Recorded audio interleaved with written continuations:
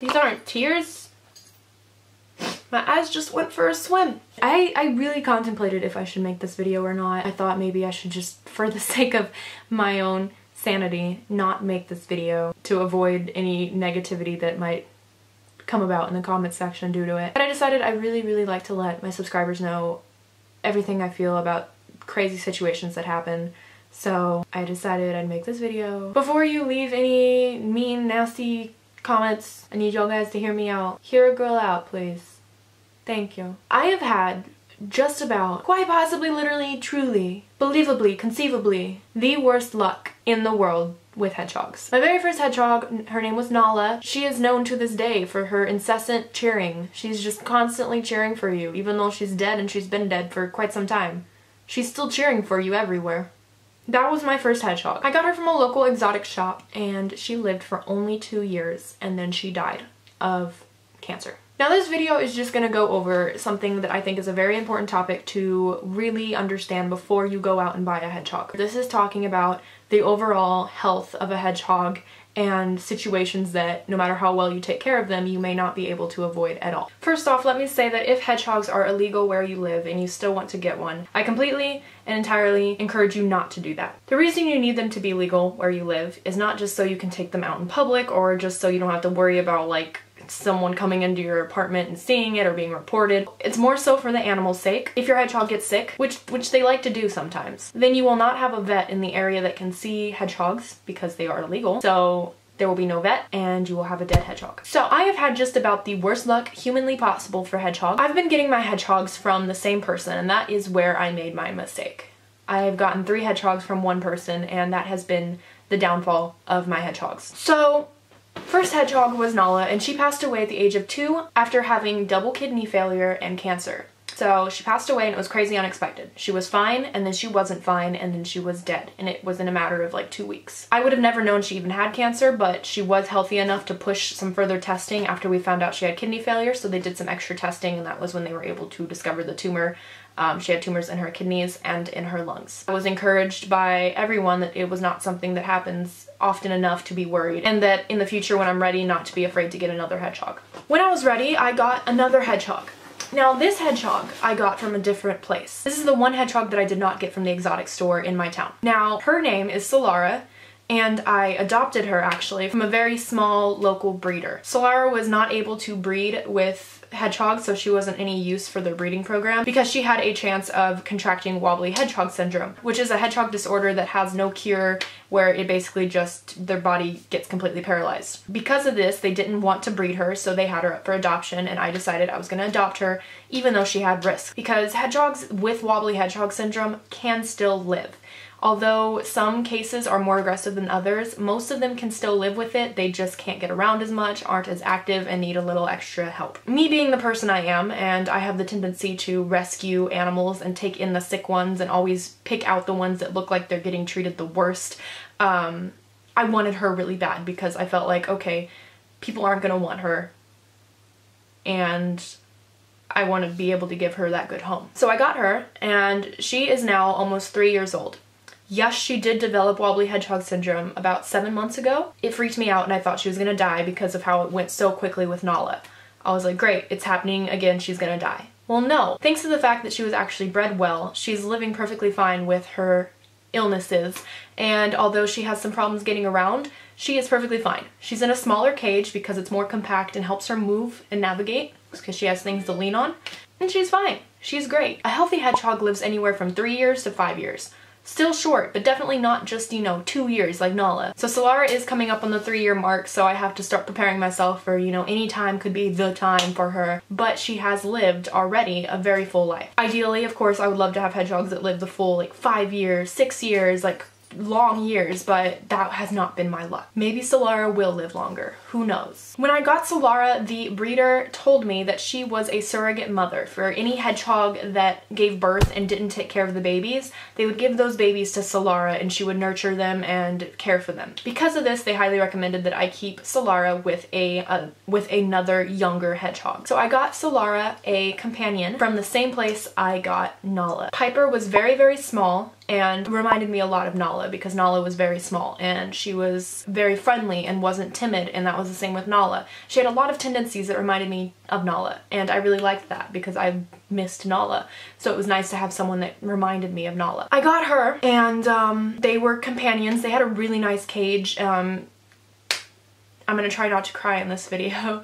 Before this tragedy took place, they had a wonderful cage the last few months of their life. They were in a very, very nice cage. They were always in good cages, but I like really, I went all out a few months ago and I got them a really large cage to make sure they really had the room for both of them. I was expecting to have at least Piper for another four years because Piper was so young. Like, as of now, Piper would be a year and a half.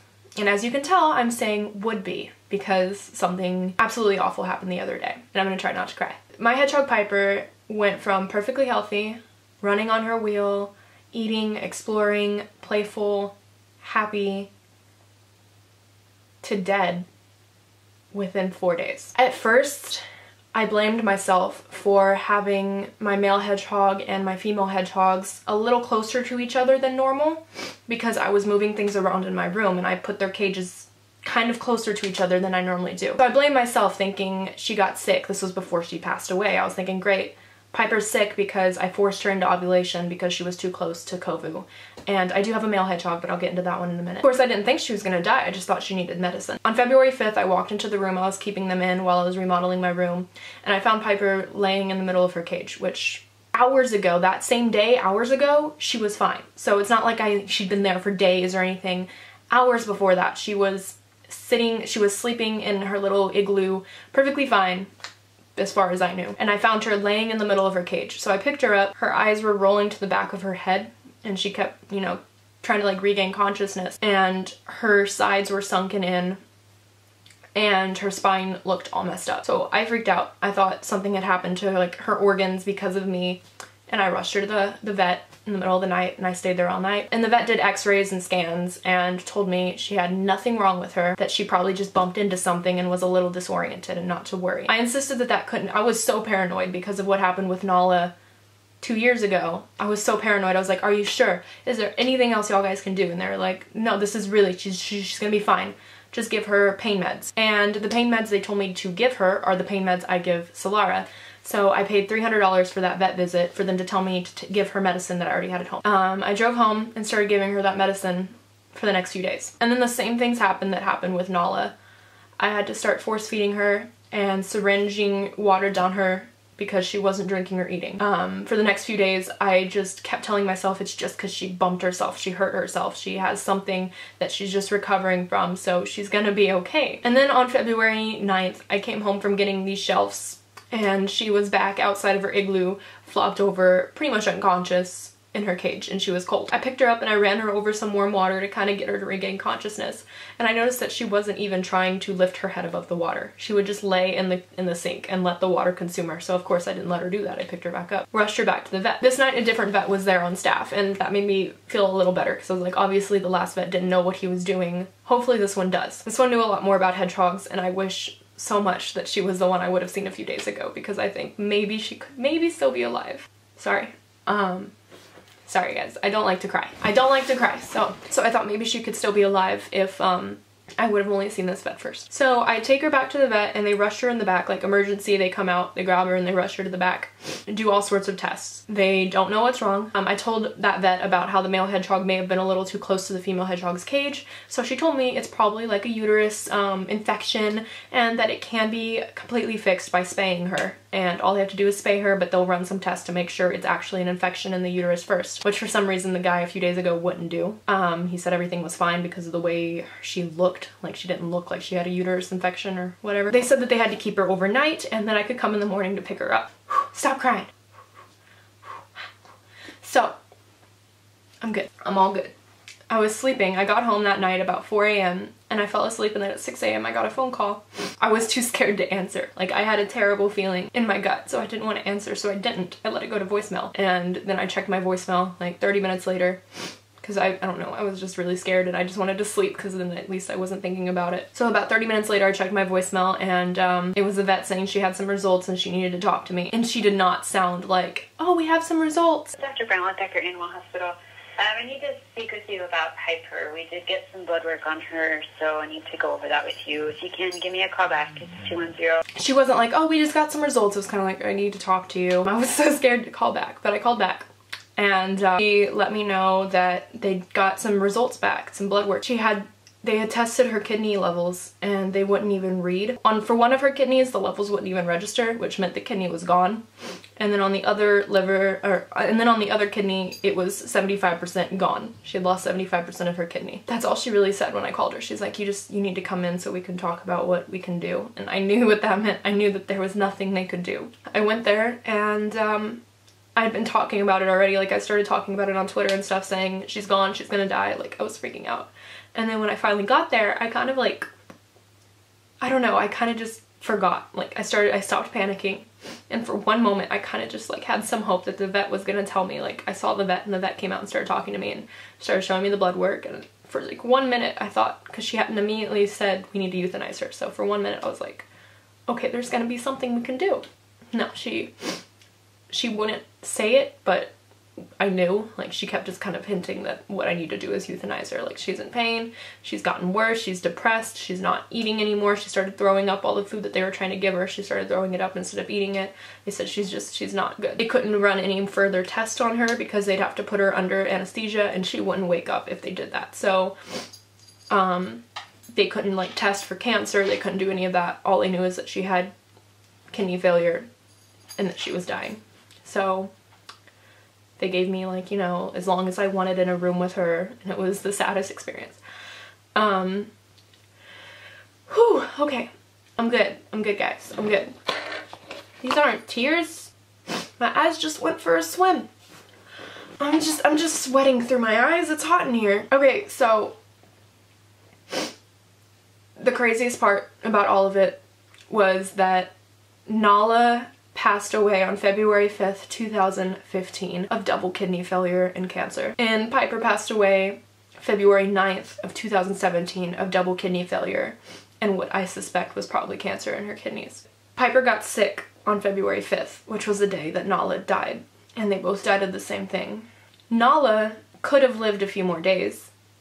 Back when Nala passed away on February 5th, Oh, shut up. I'm telling an emotional story. Back when Nala passed away on February 5th of 2015, they told me, they were like, she can stay alive for a few more days if you want to take her home.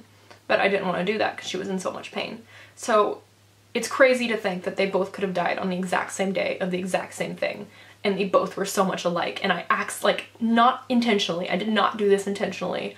But I took a picture of both of them that looks exactly the same on the day they died. And like I said, I bought I got both of them from the same guy, from the same dude. So there is a moral to this whole story, I promise you guys. Lastly, I have a male hedgehog, his name is Kovu, and I got him from the same place I got Nala and Piper. He has ulcers in both of his eyes. Um, he bumped himself, he hurt himself in the eye, and now they're just ulcers. His left eye is actually finally healing. It does look a lot better than it used to, but I'm pretty sure the right eye is completely gone. Hedgehogs should not get sick and be unable to fight and have an immune system that helps, you know, get them better.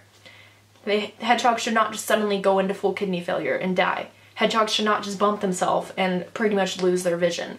Um, hedgehogs should get things like wobbly hedgehog syndrome and be able to live the rest of their life with it and not die. They should not get these issues, but sadly, so many of them do. Um, my cousin also got a hedgehog from the same place I got three of mine, and hers died. And hers died within months. And I'm pretty sure it was of cancer. So Moral of the story is before you get a hedgehog, before you just decide you really want one and you know somewhere locally that sells them and you go run out and buy one, you pick it up, or you know somewhere online that can ship them and you just click buy and get it shipped to your house and think everything is going to be great just because you can afford the hedgehog. Please, please, please do your research. Make sure you get your hedgehogs from somewhere that have a uh, wobbly hedgehog certificate where they say they'll give you your money back if your hedgehog gets wobbly hedgehog syndrome. And that isn't because I'm worried about you getting your money back. It's because when they make those kinds of promises, it's because they were bred in a way where they aren't prone to illnesses. Please make sure you get from a family run local breeder or if it is a breeder that's out of state still make sure it's not like a mass chain that's breeding them out to everywhere because that is when mistakes happen that's when bad breeding happens you don't want to support mass breeding that's not something you want to support know that even if you get them from the best place possible, got. African pygmy hedgehogs, the ones that we own in our homes, aren't the same African pygmy hedgehogs that exist in Africa. Um, this is a common misconception. People think that they were just taken from the wild and then bred and sold. That's not how it worked. African pygmy hedgehogs that we keep as pets are actually the product of breeding Algerian hedgehogs with four-toed hedgehogs and bringing them together and creating this species. Because of this, there isn't a lot that is fully understood about African pygmy hedgehogs.